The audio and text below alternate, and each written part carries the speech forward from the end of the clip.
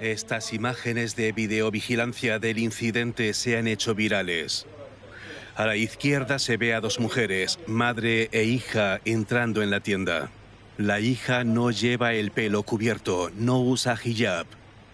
Segundos más tarde entra un hombre con una camisa a cuadros y comienza a hablar con ellas.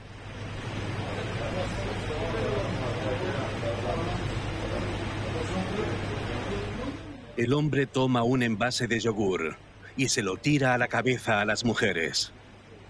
Las mujeres se quedan desconcertadas y el propietario de la tienda se enfrenta al agresor. Después del incidente, el presidente iraní Ebrahim Raisi declaró que llevar el hijab no es opcional. Lo importante es que hoy tenemos un mandato legal sobre el uso del hijab y si alguien por cualquier motivo no está de acuerdo con eso, sigue estando obligado a cumplir la ley. Así es como funciona una sociedad regida por leyes.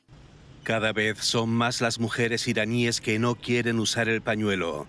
Pero el gobierno insiste en que la ley de 1979 que exige a las mujeres cubrirse la cabeza no cambiará. El incidente del yogur preocupa a muchas de estas mujeres. Las autoridades locales han dictado una orden de arresto contra el agresor, pero también contra las dos mujeres por incumplir la ley.